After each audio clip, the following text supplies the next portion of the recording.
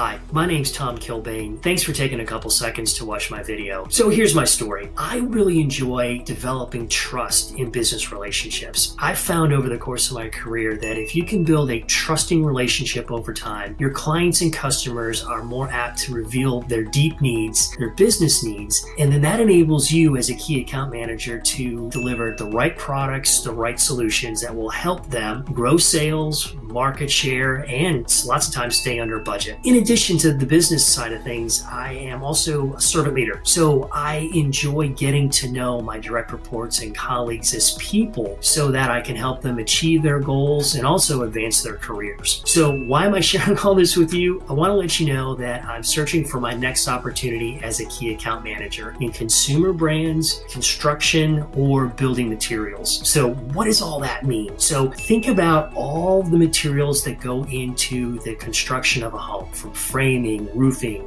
windows, and also all the materials that are used to finish out the interior of a home. Things like wall covering, countertops, paint, flooring materials. So if you know anybody that you think I should connect with, please tag them in the comment section below and have a wonderful day. And I really appreciate your time watching my video. Thanks.